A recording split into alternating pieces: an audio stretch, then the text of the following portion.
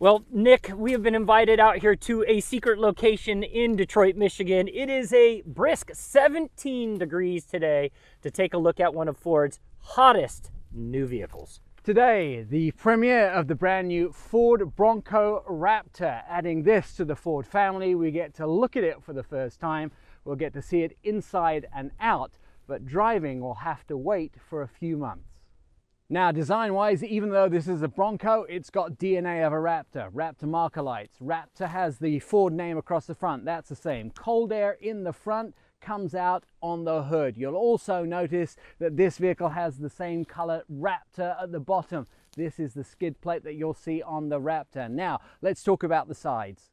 Huge big fender on the side now. Marker lights continued here. You have a step here, rocker here. Also replaceable piece here just in case you get mud and rocks. And of course the fender continued. And at the back there's a change too. You'll see new tail light at the back, plus a Raptor badge and of course a 37 inch tire attached to the back of the vehicle. And on the interior of the Bronco Raptor, you see a lot of similarities between the F-150 Raptor, so the truck version. Lots of carbon fiber and that beautiful accented centerline stitch on the steering wheel, something that you definitely recognize in the truck version. And under the hood of the Ford right. Bronco Raptor, you're gonna get a three liter twin turbocharged V6 motor pushing out north of 400 horsepower and north of 400 pounds-feet of torque, and it's mated to a 10 speed transmission.